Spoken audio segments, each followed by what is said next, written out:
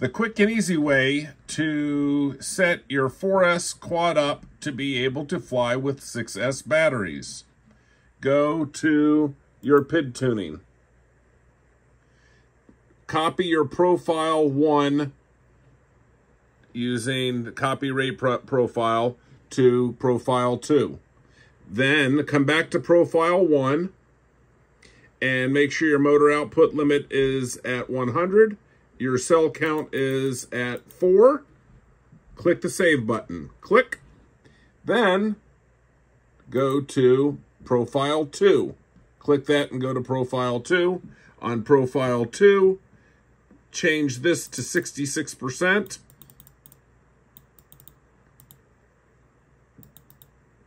And change this to six. And click save.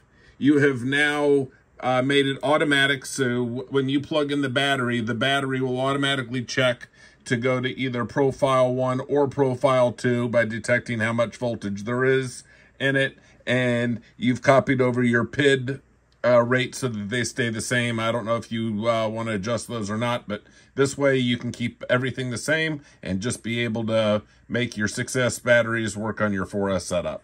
Yep. See ya.